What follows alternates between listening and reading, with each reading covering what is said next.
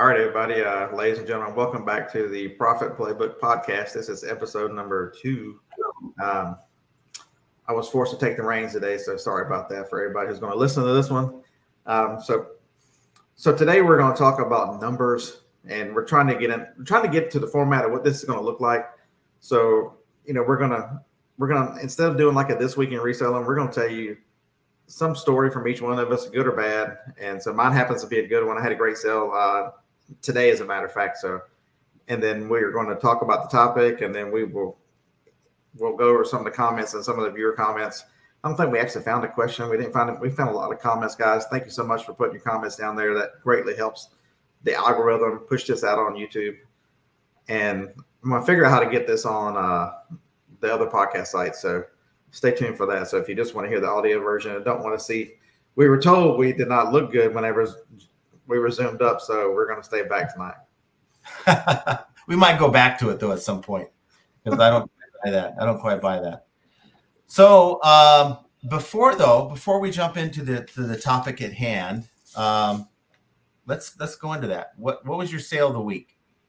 So my so I was driving along, folks, and this is going to tie into it here in a few minutes. And and PayPal pops up. Uh, so I have no, I only have notifications on. So a, a good friend who is no longer with us, uh, uh, Alabama Picker Dusty, was fanatical about having no push notification whatsoever. So I only have a few of them on my phone, but one of them is PayPal because it's the only way I can see a Bonanza sale because Bonanza doesn't have an app. They used to, and they and they got rid of it. So right, and and so it pops up, you know, so and so has sent you a payment. The only thing I have a couple sponsorships or whatever that I, I get a few dollars from each month, but you know, this thing said two hundred and twenty-four dollars. I knew that wasn't any of those. so, um, nice thing about that is you're able to hit the notification and it tells you what it was. Um, so there's a good story with this. Every whenever you think about buying stuff from a reseller, everybody has that same cringe feeling. They go, uh, a reseller is going to sell me the worst stuff. There's the, so so Harlan and I have a friend. Um, he's known her since high school, uh, which is a really long time because we're old. And matter of fact, that's um, I've been out of high school 37 years, folks. That's crazy to think about. Um, and the only reason why I even have that number is because my father passed away the last week of my senior high school. So I know I was calculating his birthday, how long he'd been gone, and yeah, 37 years and so she's she's a reseller. She sells on Mercari, a little bit on Poshmark, and she buys a lot of stuff. And whenever her two storage units get full, you know, we'll get a call. And we got one a couple weeks ago, but she had to cancel, so we're going to go see her again in the ne- next couple days. And she says, "Hey, come buy some stuff so y'all can run through your auction or whatever y'all going to do with it because I need the space. I want some more money to go buy more stuff." Um, her husband is, uh, she just she's a stay-at-home mom, or her her kids are grown on now, but she's so she's she like a lot of people, she was bored and started reselling to find you know you got to find something to do. And so she's really good at it. She does. She loves. She loves Mercari, and she's one of the few people I know that loves Mercari. And so I'm. We're going through the storage building, and there's a. It is a controller for an awning for an RV. She's like, I just thought it was interesting. I picked it up. It's. I don't know. It's about six by six by four and it's got the model number, everything on it. Um, I didn't even list it. It was in a box to be listed, and I threw it. And when I left, I told Jacob, "Hey, list all this stuff today." Mm-hmm. Um, so he listed it this morning, and it sold this afternoon. The nice thing is, he listed it on eBay. eBay um, Bonanza automatically syncs, and then a customer on Bonanza bought that. Right. And the, the one thing about Bonanza, somebody when you start thinking about it, we'll go over the fees in a little while. What are the selling fees on Bonanza? This is why I was thrilled. It's not 20%. It's a lot. It depends on what you have it set up as. I have a 9% plan. I think it's the first tier, yep. then just basic. Uh, but I have mine set for 9%. Yep, same here. All right, so that's that's that's my great sale of the week. I've had some RA sales, but it's hard to talk about RA because the an item I found I hadn't seen in three years, and it sold pretty quick. So try not to give away too many secrets on that. But but all the eBay stuff and Amazon stuff, the Amazon stuff's hard to talk about just because you ruin a market. But the eBay stuff, you know, look yeah. up things, models. You, you ruined before, so you want to do that again. Um, Yeah, electronics have model numbers, folks. They are so easy. Um, so I didn't test this on. If anybody wants to know about the awning control, um, if you look at electronics, the very ends of the wires have little covers on them. You can tell if a, if a, if it's been used. This had never been connected to anything, so this thing was brand new. Yeah, that's yeah, that's really good to, to have that kind of a thing. Uh, I could tell you here, I've got a bunch of good sales this last week. Uh, probably just go with uh, a group of sales. How about more than one sale? Can I give you more than one sale? They're all tied in together. Um, you guys know a couple weeks ago, a couple weekends ago, not this last weekend, but the weekend before, uh, went over to a, a, good friend of mine. He's moving to Italy. Went over to his house, and uh, he's trying to sell a lot of the things that he's not going to pay to have shipped out there. And he may still not have his stuff shipped out there because uh, it's just going to be too expensive. But that's beside the point. Uh, he gave me, he has a bag, a golf bag full of golf clubs.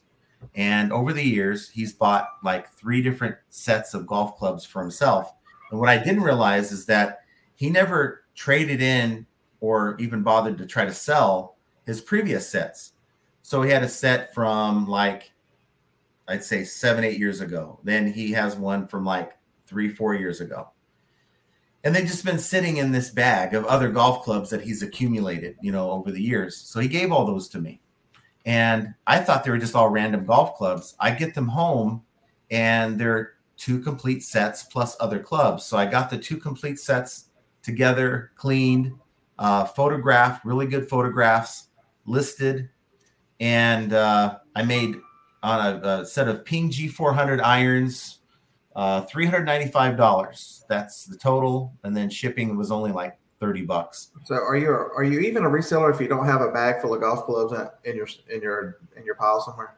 I'm telling you, uh, I, right now, guys, is the time to get golf clubs. But don't just buy every golf club you see. Uh, there's certain brands uh, that you should be on the lookout for. Ping is one of them. TaylorMade, um, Nike, they're not in the, the golf club game anymore. So a lot of the clubs you're finding are on the are probably going to be at least six plus years old. But their but, drivers are still in demand. The, the square head driver is still they're still certain yeah. clubs because you can't get them anymore. Yeah, the Sasquatch uh, uh, drivers. Uh, some of their their vapor um, line, uh, their, their irons and drivers are going to be uh, fairly good. Uh, you also have Titleist. That's probably one of the biggest names in, in golf. Cobra, that's another brand. Uh, if you're seeing things like set, like I got a, another set I picked up for five dollars. It was I bought a woman's set for, and I haven't listed it yet. Just don't ask me why. I mean, I'm selling all these golf clubs. I'm telling you that you should be selling all these golf clubs, but I'm sitting on a complete women's set that looks really good. It the comps are like a hundred bucks, but I should still get it up, which is something I'm going to do probably tonight when we're done. But I bought that set for 10 bucks. This lady threw in a bunch of these old random clubs. Turns out there was a set of Maxflis. Um, I, I, listed those already for like 60 bucks. So, I mean, it just depends on what you're um, looking at, but stick with those major brands Cobra, Nike, kind of fringy, uh, Ping, TaylorMade, Titleist. Okay. Callaway. Oh, of course, Callaway. I play Callaway and PXG. If you could find PXG, uh, those are are uh, there's really some smaller brands too. Mizuno makes some good clubs, and they've got some value. There, mm-hmm. there's some smaller brands. So yeah, yeah. So people are going to ask, how do you ship them um, in a box? That's a good answer. But remember, post office is going to penalize you. Anything over 30 inches is going to charge you an extra ten dollars. So be prepared to do UPS or FedEx. UPS is much cheaper than than the post office on golf clubs. Well, now I got to say this though, real quick. I shipped that set of clubs. Well, I said I shipped a set of clubs using Ground Advantage. The the other set I sold, which was the TaylorMade RBZ rocket balls, 235, and these were beat up. Okay, I sold them for 235, and they not only uh, you know arrived okay with Ground Advantage, they received them. They left me great feedback. Uh, they were beat up, 235 bucks. Now I have zero cost of goods on uh, either of these sets I made uh, over 600 bucks or around 600 bucks after the shipping. Of course, deduct eBay fees, and I'm probably down to about 525. But not bad for zero uh, in cost. So I'm happy with that. Now, as far as the shipping on these, I, I went to Grainger. Now you go to like I think you go to Supply Hut for your boxes. No, they don't do them that big. Uh, generally, if I need larger boxes, I, I go to U-Haul. Oh, okay. So Grainger.com. Now Grainger, they have a facility in your area. They have one here in Vegas. Yeah, they got one too. In stock, they'll have them shipped to their location. And I think these boxes I picked up 48 by 4 by 4. I also picked up 48 by 5 by 5. And the 48 by 4 by 4s are good for the single clubs. And the 48 by 5 by 5s are good for the sets. So if you have a set of like eight golf clubs, what you want to do is bubble wrap the heads, maybe with a rubber band to keep the bubble wrap on. Uh, put four clubs uh, uh, facing down in the box, and then uh, four clubs facing up where the handle is of the other ones, and they fit perfectly in the box. Uh, the the 48 by 5 by 5 will accommodate your drivers. We have they have a bigger golf head to them, and uh, for me, that's perfect. The dollar twenty five a box. I think I bought 50 boxes, and that's, that's an amazing price. Yeah, so that was a. Uh, of course, I had to go pick them up, but uh, they aren't the greatest boxes. They really aren't. Um, but, but they, you try to buy them online, they're four, five, or six dollars a box. Yeah, yeah. So really good deal, and uh, you know something to consider. That yeah, was my that's my sale of the week. I would tell you that do not exceed 48 inches, folks. It gets very expensive.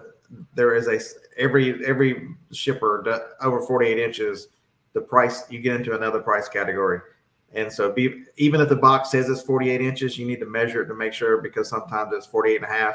And you'll be wondering, it's at 48, and UPS will hit you with those extra fees, and everybody complains. They go, you know, you get that adjustment, or it's it depends on who measures it, whether they want to round up or down. I always I always round up. So if it's 48 and a half, it would be 49. So I would take a little bit off the box. Here's a shipping hack. Here's what I would say to do.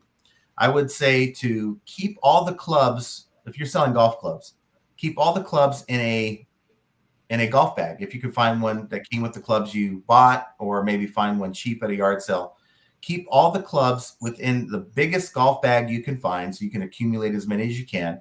Once they sell, then you ship the item.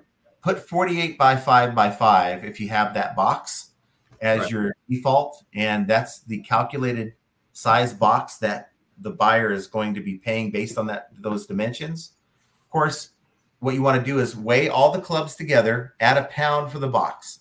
Okay. So that way, you know, you have them in a bundle when you're, you have them on the scale, and that'll give you the weight for the, the clubs, and then add a pound for the box, put them back in the golf bag until they sell.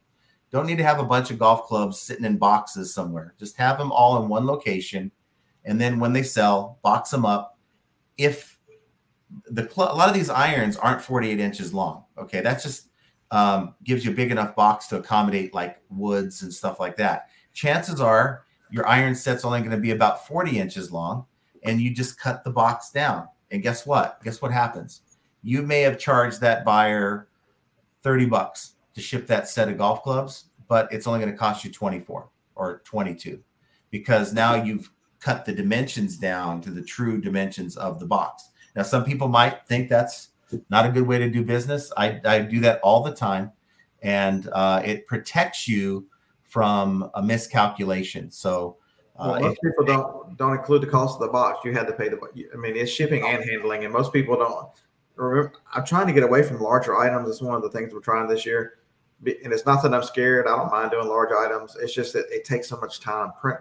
I like selling printers because of the money on them, but it's it, by the time you've got the box size right and all packed in, you're like 12 to 15 minutes on these boxes where you know I'm I'm shipping small items. It's as, as fast as I can throw them in an 864 box and put a couple air pillows or whatever around them. And so your time is part of it. I, my, my helpful tip with it is when you're doing sell similar and you use calculated, make sure to check your dimensions. Make sure you weigh because I can't tell you how many times I have done a sell similar and you get some crazy dimensions, and, uh-huh. and it's and then you wonder well, that thing sold before. Why is my item not selling? And it it could be just the significant cost of shipping because the dimensions, or maybe that person's dimensions were in there so crazy because they didn't care because they used a you know a flat dollar amount for shipping. Whereas you tried to use calculated and it's going, you know, a hundred dollars to ship next door. I mean, that stuff happens and people have no idea why their items aren't selling.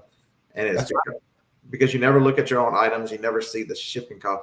So that's a, that's another one. You know, if, if you're having trouble moving some items, you know, incognito mode, look at your own items and see what what the cost of shipping is and what that other person sees. Well, I got to tell you though, that's the biggest lesson I picked up from last year, and and that has everything to do with the uh, uh, introduction of Ground Advantage. You know that I think that's the the best gift for resellers in 2023. Amen. And what it allowed me to do, you know, I, I received a lot of complaints last year. People were saying, "Hey, you know, your FedEx shipping is too high," and you know it I go and look at it and I'm like, well, it doesn't seem to be too high. And I'm not sure where these people are actually messaging me from on eBay, but it got me to go in and now I can compare. I have a I have a ground advantage calculated model uh, or a policy that I've set up in addition to my FedEx ground uh, calculated policy. And so what I do, let's say that 20 pound item, that 10 by 10 by 10 box, I don't just default it to FedEx anymore. I put the dimensions in and the weight, and then I assign it, let's say FedEx. And this is in the app, by the way. So when you um, click done and it takes you back to the your main listing within the app, it'll give you a range of rates for that particular policy. So it might say that package is anywhere from 10 to 30 bucks. And then I go out and I change the policy over to say ground advantage or to the other one and I see as a comparison, that one might say 15 to 45 bucks. So I know that theoretically it may not seem like a whole lot, and you're not really able to, to know what shipping rate is going to be assigned to your buyer, but you know effectively you're bringing down the cost of your item by selecting the one that gives you the lowest price. Because a lot of times your buyer is going to do a search, like best match search, and they're going to sort those items by price, which includes your shipping. And if you have the wrong shipping policy or the wrong carrier set up for that item, you're going to be higher than you should be, and you could miss out on some sales. And I'm sure I missed out on a bunch of sales last year. I didn't really realize this for a lot of my items until beginning of this year, and I made a lot of changes. I went through really all my inventory, and just on my phone one night, uh, revised my item and I tried the two different policies to see what would give me a, a, the better price. And I would say 40% of all my listings I had to change from FedEx to Ground Advantage. It's, it's, it's amazing that we spend so much time building these listings and making listings perfect, no matter what the platform is. And a simple mistake such as shipping can can ruin all that hard work. You can take the most perfect pictures and blot out the background and all those specifics and everything you want. But if you miss the shipping and it's too expensive, it makes the item too expensive.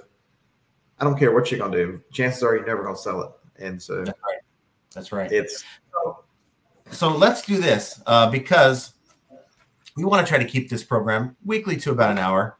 And uh, I know that shipping and discussing shipping, there's a lot of good, useful information that we, we just gave you, but it wasn't part of the plan today. So we wanted to talk about fees. Fees fees. And fees, uh, do you know what you're paying? Do you have any idea uh, what you're paying with any of these uh, platforms? So we talked about Bonanza. Uh, we, I think many of you guys know about eBay. We have Poshmark. We got Mercari, and uh, there's Amazon. Right? You know more about Amazon than I do, but uh, I think it's important to understand what you're paying these sites when you're when so you're i had somebody reach out from one of my classes this was um, so if you don't know i've run a couple cl- couple three training classes teaching people amazon and and he told me he's like you know i sold very close to you know i was a, a 12 or 14,000 difference with more ebay than amazon but i made more money on amazon mm-hmm. i said okay have you figured out why he said oh i know why it's promoted listings i'm like I'm like promoted listings are not always bad, but it's the it's a not understanding what you're paying is bad. And he's like, I should have put more of those items that that could have gone on Amazon on Amazon because Amazon's fees are straight 15%. So let your fees, let, understand this. If you promote one cent on eBay, you're paying more than Amazon FBM. And how do I know that? because it's 13 and a quarter. The minimum is 2%. That's 15 and a quarter. Amazon's fee on most products is 15%. So you're automatically, everybody thinks Amazon is so expensive, and FBA is a little more expensive, but it includes shipping and the handling part. But yeah. if you promote even one red cent, you're paying. I don't think people understand that. And I was one of the people that would was doing plus one and all this crazy. And I spent way too much money on promoted listings last year. And I'm like, wait a minute. There's got to be some sanity to this because I can tell you that story. And so, so John and I, we're gonna we were talking before the show that we want to make this more conversational back and forth, so you guys can hear how we how we work through these things. Yeah. So if if you're an eBay seller selling clothing on e- eBay and Poshmark, and you're bound and determined not to promote on eBay, but you're willing to put them on Poshmark, that makes no sense. You will accept 20% from Poshmark, but only pay 13 and a quarter on eBay. So you should be willing to to promote. What's that? 6.75%. Did I do the math right? Yes, 6.7 to make those fees even. Get the I mean, if, if you're willing to take that amount of money on Poshmark, why would you not you know, bring it apples to apples. Give yourself a chance. It's, you know, you could actually promote it five percent and and pay less on fees than Poshmark, and eBay has more traffic than Poshmark. Well, here comes the pushback. You ready? I'm ready. Generally on Poshmark, let's just say you're clothing selling clothing or shoes, right? Because generally that's what they're known for. You can sell appliances and all that stuff, but people don't think of Poshmark as the, the go-to place for those things. It's usually clothing or shoes is what they're mainly known for. The pushback is with those type of kind of items, you can ask for more money on some of the clothing and uh, for some of the shoes than you can on eBay. And because of that, you're going to find that it's going to offset the additional amount that you're paying for that those fees than if you you know just say okay i'm not going to sell on poshmark anymore uh, there, there is a trade-off there anytime you can make more money on the item you're selling, it, it kind of makes it worthwhile paying those extra fees. That, I, that's why you don't hear a lot of people complaining about Poshmark all that much. So if but if you're like uh, so the, the example on one of my shows is uh Stoic reseller Kevin. Kevin does not promote at all. He's a clothing seller, so he's paying thirteen point two five percent. Uh, it's a you have to raise your price a significant amount, and you know I'd like to hear in the comments because I don't really sell clothing. I haven't sold clothing since 2013 when I got started in this game because, um, you know, my fashion. Here's my fashion sense. I'm wearing a t-shirt and I got on cargo shorts. You can't see the cargo. I, I've been so excited that we've got 70 degree weather because I can break out the cargo shorts. Woo! Um, I'd like to hear from you guys. You know, how, how much more money can you get on an item, clothing item on Poshmark? And is, you know, how much have you done the math? That's that's my question have you done the math to understand what it takes to offset the 7.2, the 6.25 6.75 percent fees that you're paying on Poshmark? So let me apologize real quick for the uh, the interruptions. I did not have my phone set to uh, silent mode, and I should have. So uh, airhead me. So I apologize for that. Uh, it's uh, disrupting to have my doorbell go off. My, so I apologize. Uh, but yeah, you have the other, you know, the other platforms. Uh, Amazon, of course, you just talked about 15%, Mercari 10%. Um, of course, I think that's on the other side of the, the spectrum where you're going to get less for your items on Mercari generally than you will on eBay. Correct. Um, so you it's a trade-off, right? And I think it's more important now than ever to not only know what you're paying these sites, but you really need to understand what you're you're into your items for because it, you know if you are into your items for like for instance those golf clubs I, I sold how many people can say they have zero cost of goods? Correct.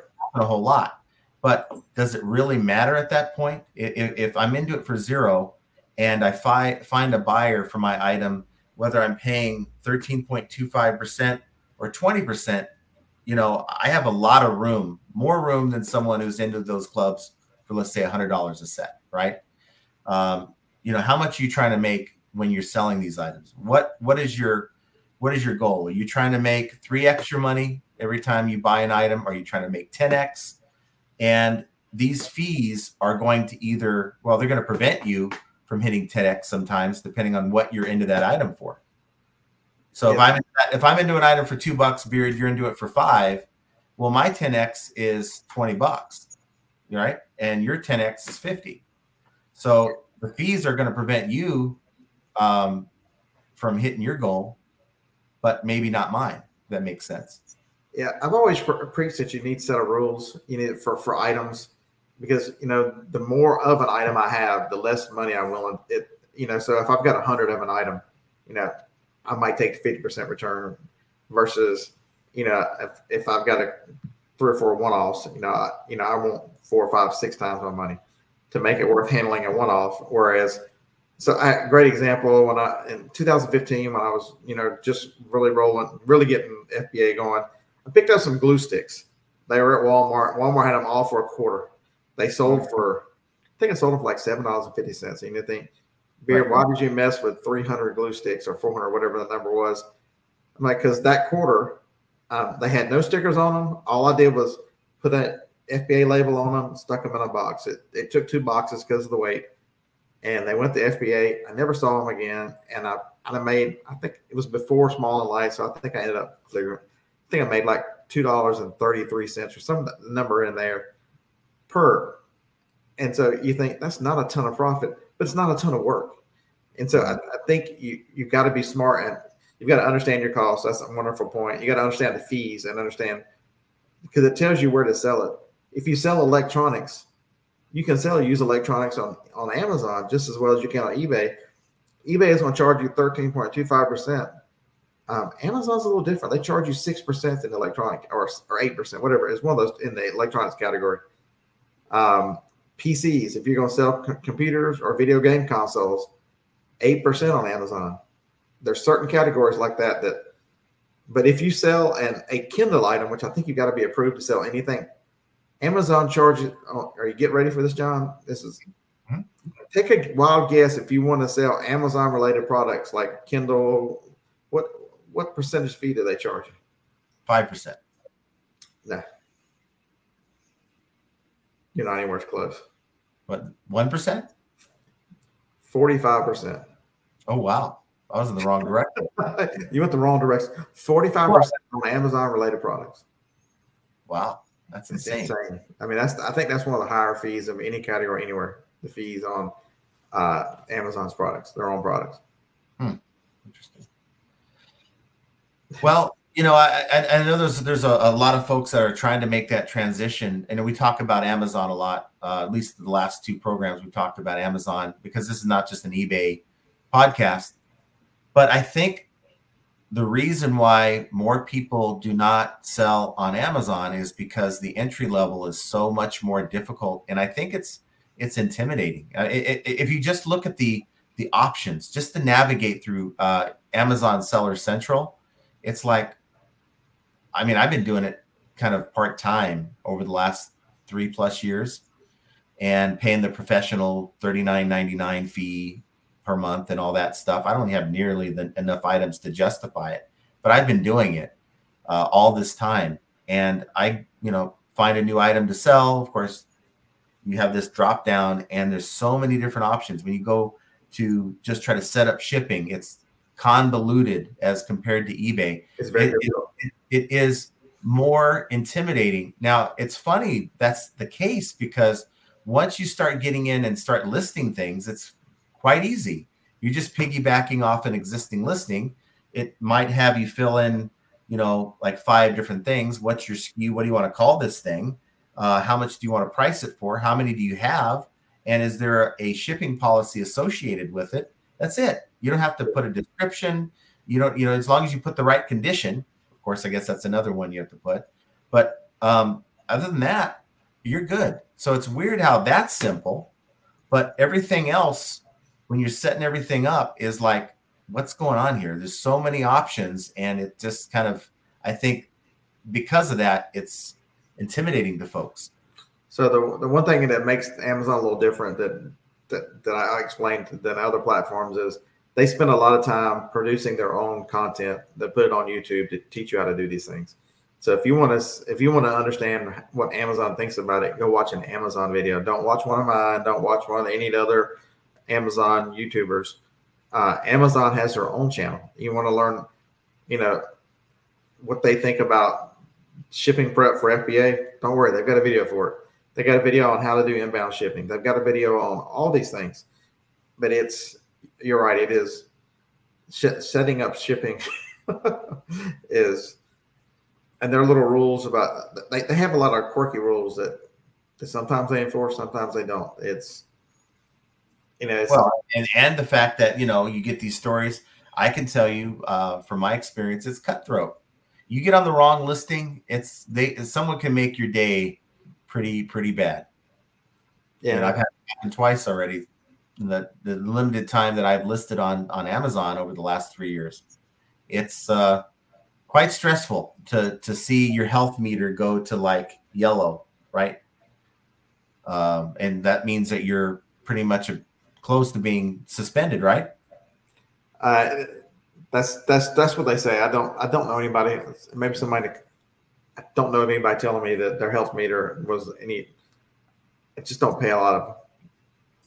You get in your own world. You know that's the one thing about Amazon. It's hard to talk to others about Amazon because so everybody's scared of what. Oh my God, I can't tell you what I sell. You'll you're, you'll go ruin it, and it's it, it is definitely a cutthroat world, but it is it is easier to list. It's got a lot of positives it's I find it easier to ship because you can ship bulk much easier. The bulk processes are, are much easy. Um, you know, you don't have to take the pictures if it's a new item. I like to con. They they brainwash me, so I like the condition. On Amazon, new is new. There's no there's no new other. Like new on Amazon has a word in front of it that that eBay needs to adopt this. Used like new, because Amazon's personal stance, and I, 100% agree with it. It's only new once, and if it's if it's open box, open box is not new. Open box is whatever some eBay seller calls it. If it is not yeah. brand new, it should never be new. You, and even on eBay, I hate that that I search for. I filter by new, and it shows me all these like news and open boxes. I'm like, eBay, I wanted new. I didn't want. I didn't want to same friend of the yard sale. You know, he's got something he's you know he's had for for years, right? But he'll be like, I only wore it once. It's brand new. And I look at him like, that ain't brand new, man. You know, it's like, does it still have the tags on it? No, it's not brand new. You've used it once. It's used. It's correct. It's used. And but it's like, come on. You know, I don't know if you're just trying to convince some, I guess is what it is. You're trying to convince someone to buy your item at a yard sale, knowing that they're not going to bring it back. I mean, who does that anyway? So uh, it just it's just pretty comical. You know, you're in you're in this this game and you hear someone that's not talk about conditions. It just kind of uh, makes you crack up. Or you go to a yard sale yourself and you're you know thinking about buying an item and like, yeah, it's brand new. Well, it looks like it's been open to me. You know but it's it's necessary to have both platforms. So I, I don't want anybody to think, you know, Beard talks a lot about Amazon. He he does it. So eBay is eBay still has a place, and and because there's a lot of Amazon is very hands on with with price controls, and they won't allow you to sell, you know, a discontinued item. Amazon doesn't care. They still, if they can find a reference price for it, they will price they will price alert you and not allow you to sell you know, so say I've got an item that that normally costs ten dollars, but they're not mm-hmm. making it anymore, and it could be in whatever category. It could be a toy, it could be an appliance, it could be, you know, it. And I want to sell it for fifty dollars because I got one of the last ones. And if you if you follow the free market with supply and demand, it's it's it's very simple. Uh, there is no supply, there is still demand. Therefore, the price will, will rise in that instance. If there is a if there is no demand and a bunch of supply, the price will plummet. You see it all the time, and you wonder, oh my God, it's those it's those people racing to the bottom. Uh, and that that drives me nuts when people say, "Oh, it's just the race to the bottom." It's not, folks. It's supply. It's it's the market. There's more sellers. That's more supply. That means the that's downward pressure on the price because in a free market, more supply and unless the demand is absolutely insanely crazy, it, it's going to push down the price. And so many people how many of us had economic? My economics teacher was the football coach. It's in high school. So what little bit of exposure we had to economics back then was was uh, lining fields or whatever the heck we were doing. Uh, it was the 80s were a wild place. Yeah. Yeah.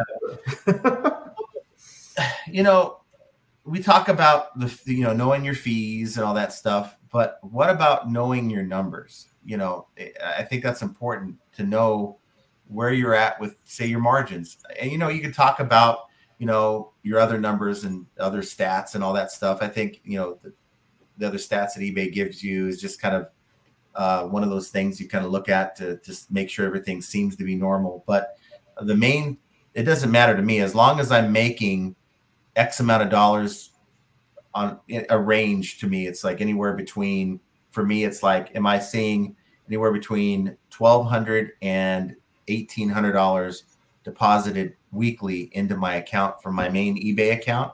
That's what I'm looking for. But as far as the the numbers, the knowing your margins, I think that's important. Knowing, you know, um, where you're at, because if your margins are low, maybe that's something that you need to work on, and that could have something to do with your sourcing. And I try to talk about this so often, but I think this is what it all kind of boils down to. I think those who source the best have the best opportunity to really succeed in reselling, regardless of where you're selling. It's it's it is so everybody treats it as a fun thing to do and they get excited they find items that they've always looked for. But you if you've got this it's it's as simple as a sourcing starts the whole process. If you start bad and buy bad you can't fix it. I don't care what else you do a bad buy uh, you're looking for ways to cut bait at the end because you just want some of your money back so you can try it again right a good buy on the other end gives you so much flexibility if you if you're priced right you know, it, it opens you up to any of those platforms. But Beard, my cost is so great, I can put it on Poshmark. I don't care if they charge me 20%.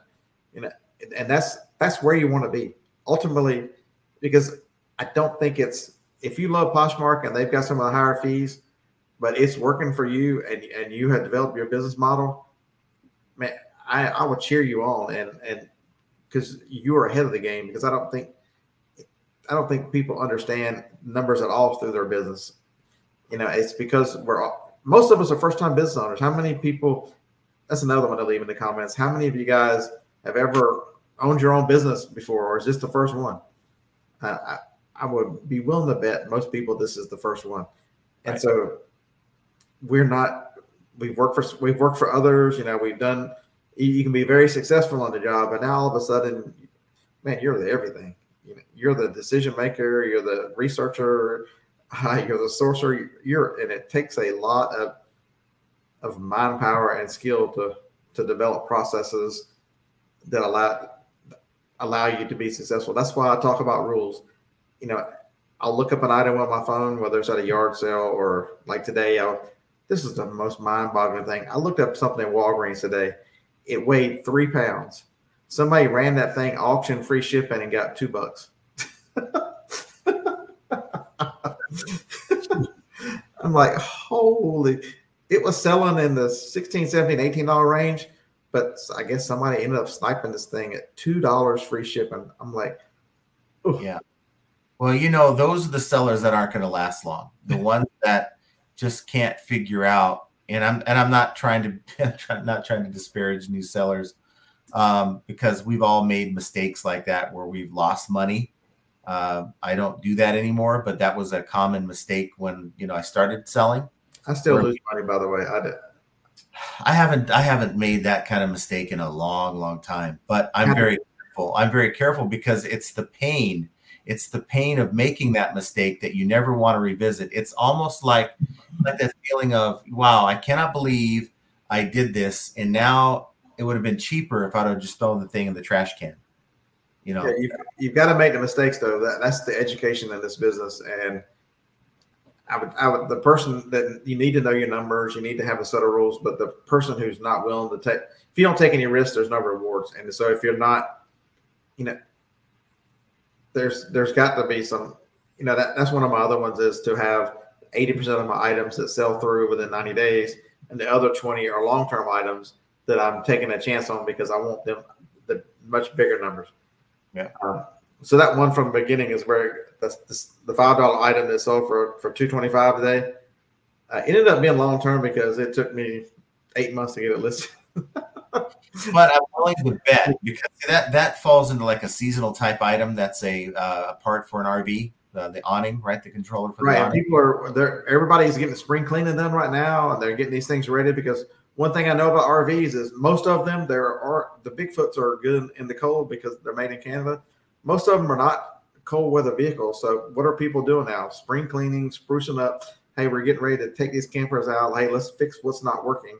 And so you got lawn parts. You got if you, if you got anything to do with lawn equipment, you know, just think about what's going on right now. And so that I, that's why I think that sold so fast. Also, there were there was only there was none of them on eBay, and so we I had to go to Terapeak to find a price on it. That's strange how they found it on Bonanza, but not on eBay. How it sold on Bonanza before it sold on eBay. It sold within 12 hours of listing. Right. And it's just it makes you wonder what is Bonanza doing with that listing that eBay wasn't doing? How right. is it that I, I, it's hard for me to believe that someone woke up one morning and said, "You know what? I need a new controller for my my R, RV's awning. Let, let me go to Bonanza and see if they have it first. So I wonder how fast I wonder how fast Bonanza it had to be a Google. You would think that had to be a Google search because it's a harder item to find. You think that had to be a Google search. But what does that say about eBay then uh, when it comes to Google? Uh, and I heard someone say that they're. It seems like they're focusing more on Google Lens, uh, right. those results rather than just a general Google search. Uh, you know, is is eBay scaling back? And that's why I got out of the offsite ads. To be honest with you, um, back early in the year uh, with eBay because uh, I have information. you guys watch my channel, or maybe you don't, but uh, I've been uh, talking to someone who has inside information through someone that uh, says get out of it right now. It's a mess. Uh, they're making all kinds of changes, and uh, these changes aren't going to be kind of re- resolved until later in the year. And so that's why I'm I'm all the way out of offsite ads. I'm only relying on the offsite that comes from promoting your listing. So you you will get exposure to Google offsite ads when you promote on eBay, but um, makes you kind of wonder, like, you know, is it that bad to where Bonanza is now outbidding for uh, the Google exposure, outbidding eBay? That's pretty sad if that's the case. That's my third Bonanza sale this month, which is really good for me. Um, I have 450 listens on eBay, so not a ton. Um, but good on Bonanza, though. You know, my thing is, my thought has always been it's kind of like a little joking thing. We joke about, okay, you know, uh, putting items on Bonanza. But uh, for one, it only takes like 10 minutes to set up an account. It automatically ports everything over, you know. Then you never have to touch it again. It, yeah. it, it, it ports it automatically when you list. And if, as long as you're, so if you're using Pirate Ship, Pirate Ship will bring in won't bring Bonanza in, but it'll bring it'll bring PayPal in, and so that's how I'm shipping Bonanza items. Is it'll show it when I when I do the when I when I tell it to bring in all the items, it'll bring both eBay accounts and the PayPal. It'll check them all, and so when I get back tomorrow, I, if you don't know, I didn't clean up or buy a new house. Uh, well, I'm in a hotel room tonight because I'm out, I'm on a two day sourcing trip. But when I get home tomorrow, um, I will look at my items that I've sold and in pirate ship that's where i'll ship. It's very easy. You don't miss it. That's another that's another great best practice. If you've got two ebay accounts it's hard to run an iphone can't run two ebay accounts unless you one on the browser and one in the app you can do that. That's the only way.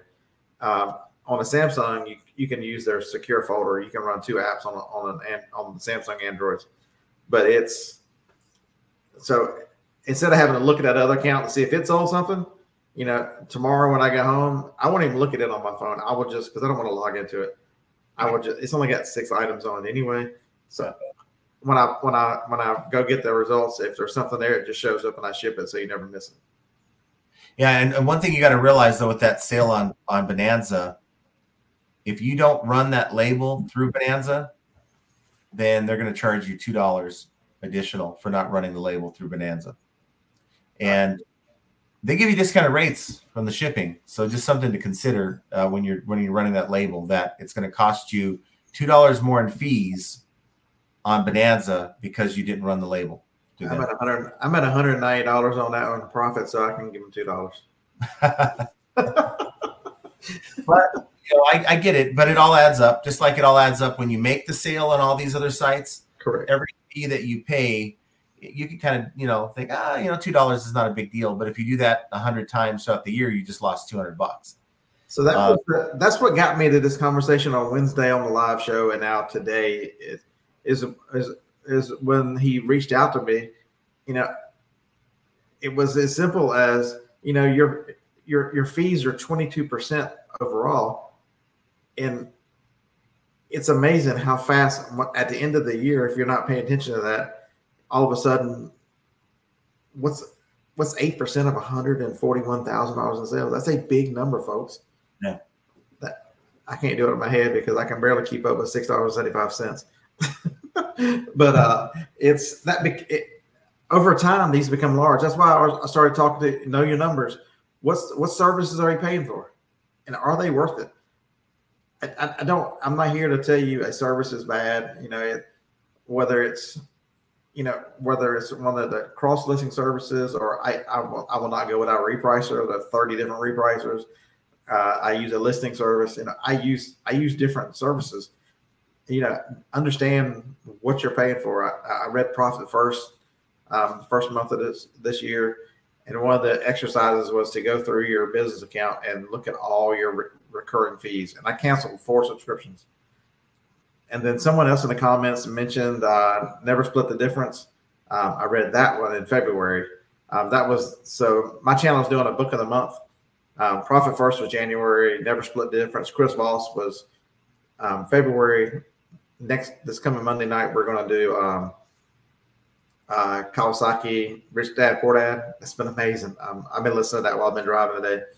Um, I'm I'm, a, I'm in chapter six now, so I'm getting close to done with it. But what an amazing way to think, and, and you know, I challenge you develop develop your overall aptitude to your business know your numbers, under be in control of your numbers, whatever they are, own them. You know, if you're happy with them, wonderful. If they if you need to improve them, you know, make a plan to work on them. But you've got to know them, and then you know, to continue to sharpen your business mind so that in the future you can continue to make better decisions. Right. That's where I'm at. I want to make. I feel like I feel like I'm a good picker. I'm, I'm a, I can I can I can sell things. I can do all the things. I feel like I've not always made the best in the, in the last 10 years, made the best business decisions. Uh, what's, what's good for the overall business. And so that's, that's my challenge to myself is to work on that to, to continually sharp, sharpen my own skills. Yeah. And, and I think every, every person that's out there that's, that's reselling needs to ask themselves if they're into this for the long run.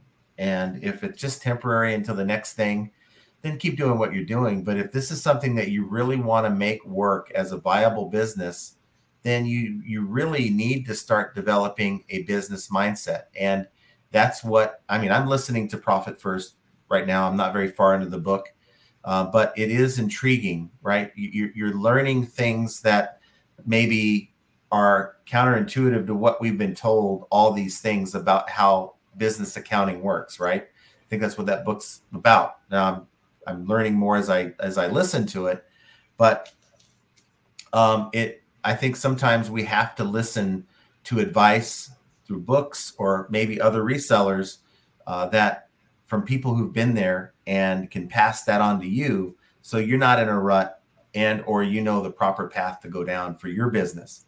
And just like any YouTube channel that you tune into, like these books. So what you know, Profit First might work great for Scott but it may not be so good for me. You know, it's good to know that that that philosophy is out there.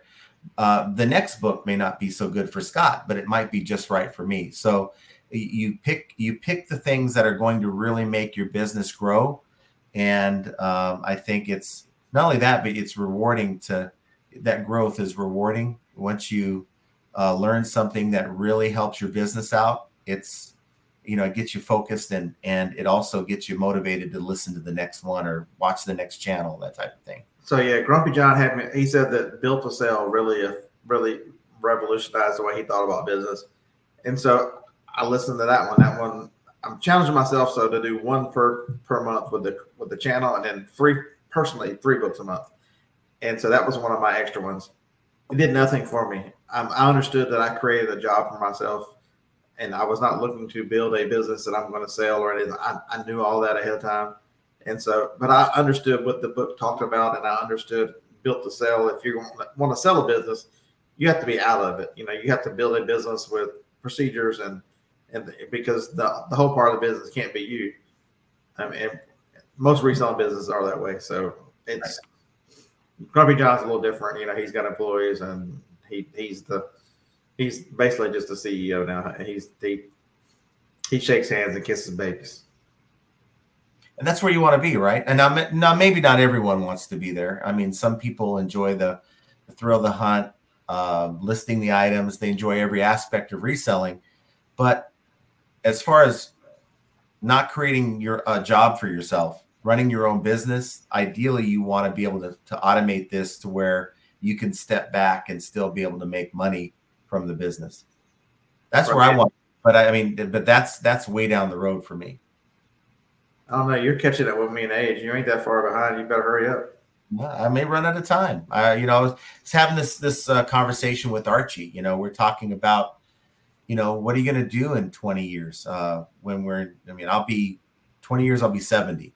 You know, you'll be in your mid 70s, right? Yeah. We wanted. I'll be almost in 20 years. I'll be 75 what, what kind of retirement do you have set up? Do you have retirement? If once you hit retirement age, are, are you going to be in a spot to where you're going to be able to say, you know what, I'm tired. I just want to be able to um, relax and enjoy the rest of my life and not have to worry about when eBay wants me to ship or uh, worry about returns or dealing with uh, just nonsense. The part of the the business where we say flipping ain't easy, that part of it, I don't know if I want to do it beyond. And I enjoy reselling. Don't get me wrong, but there's so many things in my life that I want to do, and I want to know that I can take care of my bills. Um, every reseller really needs to take a look. Do you have? And some of you guys are retired out there, already have that and still resell. I get it, um, but someone told me, Archie told me, I don't see you not reselling, but for me, I, I think maybe there there is a world where I just don't resell. Um, and I have sort of a plan. I, I, have a retirement from my previous job in the corporate world. I, I have that, but I can't take it until I'm 67. So I got another 15 years before I can even dip into that. And so I guess the question is for, for not only you, Scott, but others out there, um, what's your plan for that?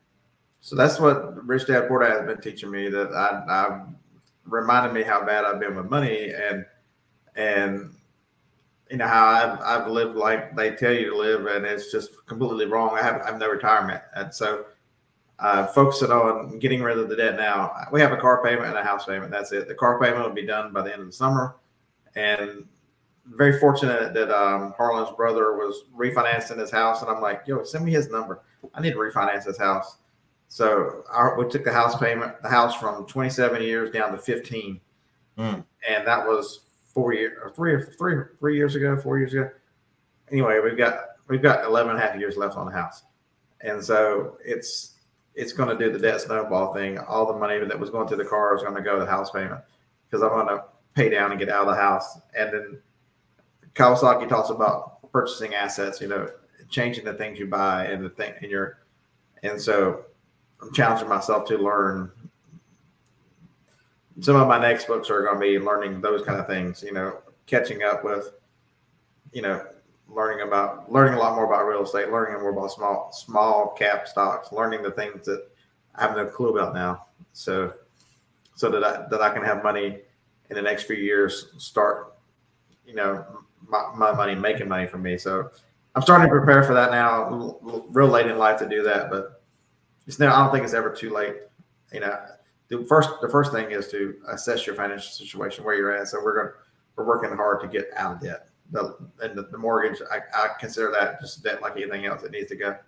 Yeah, keep your keep your your your bills low as possible. I know in the, the day of inflation, uh, where things are just going up in price, it's it's easier said than done. But uh, it's keeping your bills as low as possible, eliminating, like you said earlier, unnecessary expenses, keeping that low, and it all adds up over time.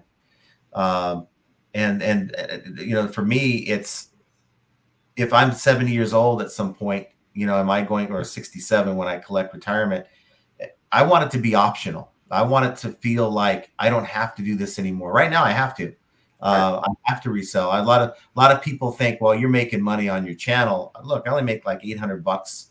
Uh, I, this just full disclosure, I make about 800 bucks on average.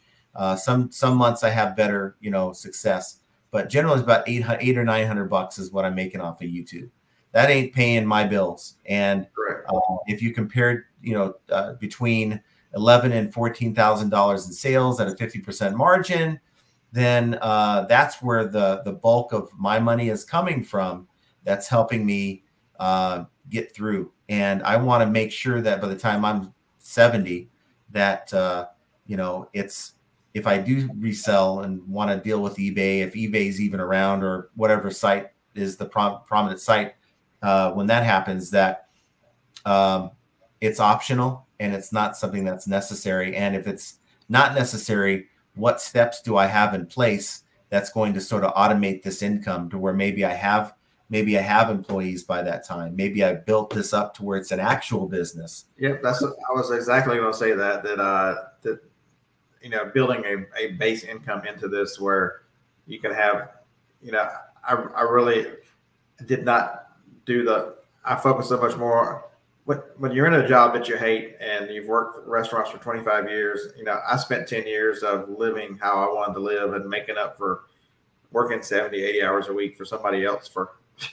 and I, I should have been smarter than that, but you know, you get so consumed with, well, you feel guilty at first because, oh my God, I'm off on holidays for a change. Holy heck.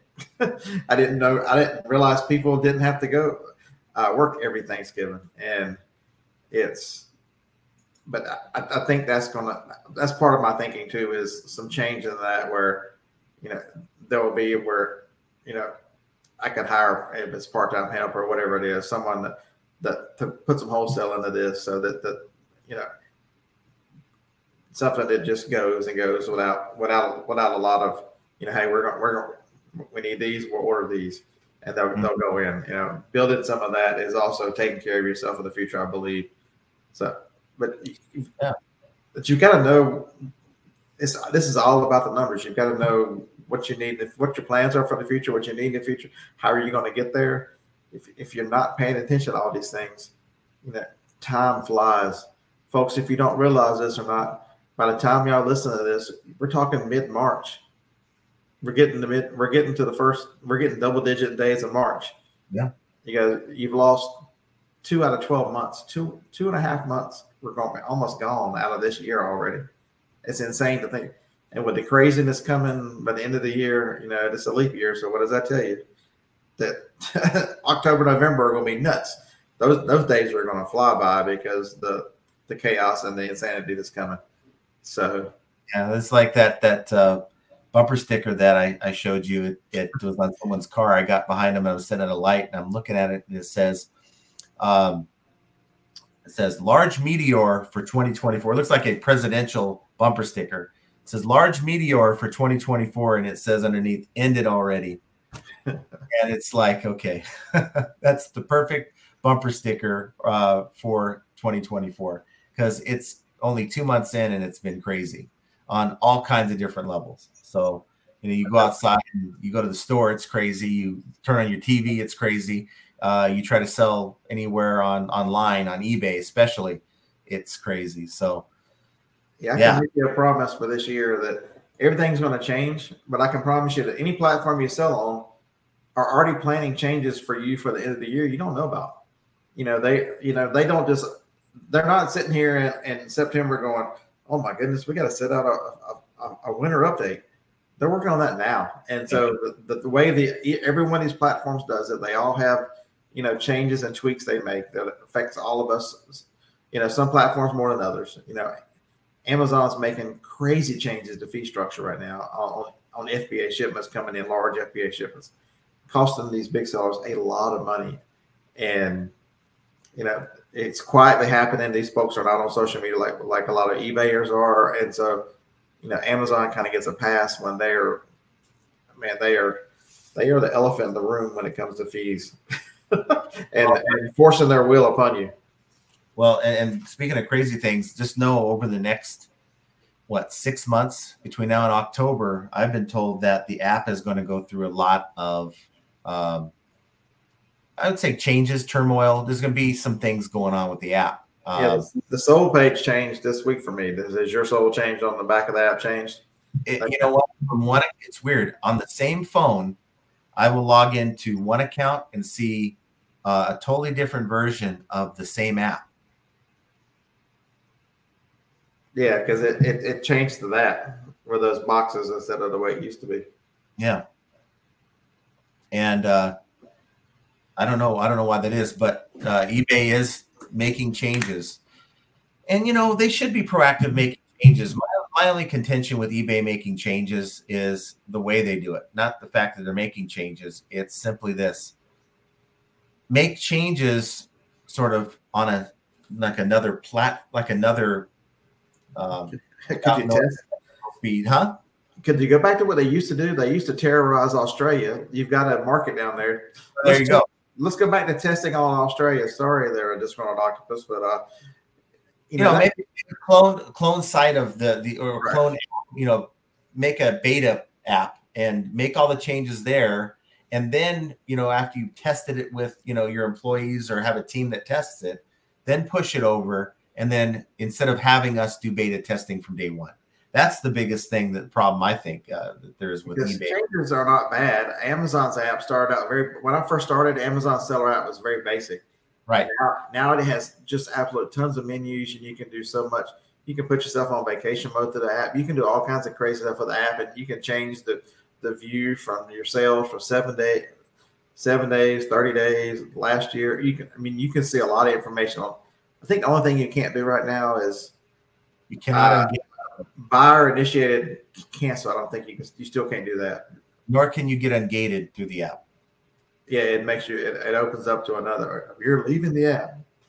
No, it, well, actually, it, it, tells you, it gives you an error message saying you cannot ungate yourself uh, through the app and I showed uh, a couple guys we're we're outsourcing today, looking at stuff at the uh, closeout convention here in Vegas, and uh, I showed it to them like, "Wow, I didn't know you couldn't un- ungate to the app. Nope, you can't." So my question for you is: those guys at the at the was he carrying his big bomb with him? Uh, it was one of those guys. I said I don't want to put him out on the podcast like that, but yeah, I will. He, he, might have been shopping for one, but he wasn't carrying one. I bet he had a vape pen on him though. He might have. He might have. um, you know, tune into Beard's channel uh, for his lives on uh, Wednesdays and Friday nights because that's where these guys hang out. And for those of you who enjoy the the Amazon conversation, there's a lot of Amazon sellers on that uh, panel that but usually Beard, you know, more information on that. it's sure. a great place to get questions answered. You know, uh, John shows it the same way. We both do two lives a week, and so you can, if you've got questions, you know, and you want to know, hey, what about the? Can you ex- more in depth on this number? I don't get it. Can you explain it? Tune into one of our live shows. Throw the question on there. We'll be more than happy to. Since we're not live on here, other than with each other, it's you know, it's we don't see the questions in real time, but any of the live shows, uh, I'll be more than happy to go in depth. In my panel, anybody's on the panel can answer the questions too. Uh, Grumpy John's on there every now and then on my Wednesday show. I mean, dude runs a five, six million dollar Amazon business and will answer any question you got. I mean, he lays it out there, and he might not like the answer you get, but he's going to tell you that what he believes to be the truth. Uh, yeah, and the caveat though with it all is not you're going to be hard pressed to find anyone who's really an expert in anything that we're talking about. And with that said, I'm not an expert. Uh, Beard's not an expert. We're just giving you our own experiences. I know someone had put a, a comment in uh, the last video saying, "So says the so-called eBay expert," saying about that somehow I've alluded to being an eBay expert. I'm nowhere near being an eBay expert. I can only tell you what works for me, and I think uh, you can say the same. Uh, the, the information that you're sharing has been successful for you, right? So why not? Why not uh, share that with people if it can help and benefit others? And that's all we're trying to do. Because the you know the the one thing I told you before we we hit the record button was I really think it's beneficial for people to see you know conversations that go back and forth because how many people in your life can I mean I can Joni, my wife has has watched me resell for the last 10 years, watched the YouTube channel and done all this. And she'll see her phone, she'll get a notification. That's pretty cool. It's sold. And that's her, that's all I get. Yeah. she, she's happy something sold and she's going back about her life doing whatever she does to her and the dogs. Yep. And and could care less about resale. She loves that I resell. She loves that I'm happy. But how many of you guys have that person, anybody in your life that you can run things by? And so that's what that's what my whole purpose is of the resale of my channel and is to help each other tell tell people what I see. There's so much opportunity out there. You're not you're not going to ruin the world because somebody knows. Oh my God, he just told the promoted listing secret. now, that said, um, there are some things we can't talk about, uh, and that the one thing is for the most part sourcing. Um, you know, we can generally talk about yard sales generally talk about different things uh, like thrift stores and uh, liquidation pallets and stuff like that. But get so many times people contacting me through the comments or email asking me to you know throw them a bone. You got to do your own homework. You that's part of the the dues you have to pay. You're not going to start out out of the gate knowing where to go to buy stuff, and you're going to go and find uh, that most of the places you go aren't going to be worth buying from. But you learn as you go. But I can tell you the process. I mean, I can tell you, I can explain to you my process. Um, I hadn't done retail arbitrage for a, what, a year, year and a half. It's been a while.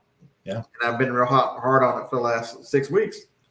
And it's wherever you're at, whether it's a thrift store or it's a retail store, or wherever it is, um, I'm looking for items in a certain, and then I scan 10 items around it. Every time I go to a store, I, I don't leave until I scan 10. Yeah. You know, sometimes it's the same ones because I forget because I'm old. And but, you guys notice he's not at home right now. That's not his house. I don't think people people don't want to do. Are you willing?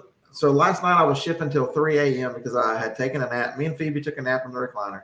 If y'all don't know, Phoebe's uh, one of my dachshunds. Uh, after dinner, I sat there and I'm like, oh, wait a minute. It's two hours later. What the heck? and so I couldn't go to sleep. So I'm like, I got to ship these packages in the morning before I leave. I'll just go ship them tonight. And then I was still not tired. So I listed all my stuff it was three o'clock in the morning. I finally went to bed. I got up at 7 a.m., um, shipped the two more items that came through because they, if you don't, the cutoff time on most platforms is midnight Pacific, which is 2 a.m. my time. And so they sold one of them I had to go get at the building, is why I had to go do it. Mm-hmm. Actually, both of them were at the building. But anyway, and so I got in the car, uh, dropped them off at the post office uh, on my way out of town, and I got here what about 28 stops, and I got to the hotel 40 minutes before we started recording this, and then I still got to go get something to eat. It's I don't know what time it is. So it's how many that over that this is a two day trip? How many items do you anticipate finding between from the, from the start to the finish? Two to three hundred, maybe four hundred items, and uh, wow. it's going to be probably seventy stops by the time I get home. Tomorrow uh, night, and then time to turn the computer back on to do another live show. So, guys, that tells you right there there's product out there to find to resell, regardless of the platform that you're selling it on. So, I think that's a good place to leave off. Um, I think it was another very, very good episode. I uh, want to thank Definitely. you guys for being here with us this week on episode two of the Profit Playbook podcast. That's a tough one. We could just call it, call it PPP, right? but uh, want to thank you guys for being here, and we will talk to you and see you on next week's episode. Don't forget to comment down below your thoughts on uh, what we discussed today. Until next time, take care, everyone.